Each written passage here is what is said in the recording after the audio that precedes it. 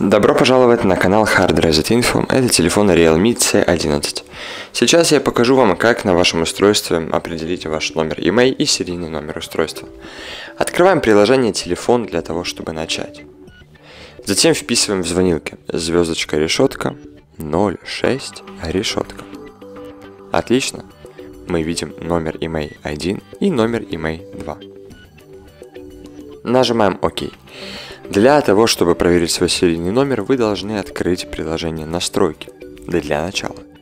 Затем открываем, вернее спускаемся в самый низ и делаем следующее. Нажимаем на кнопочку «О телефоне».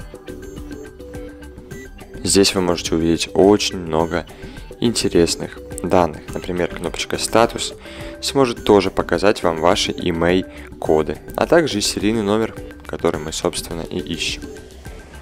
Вот и все. Спасибо большое за просмотр этого видео. Ставьте лайк, подписывайтесь на канал. И до скорых встреч. Пока.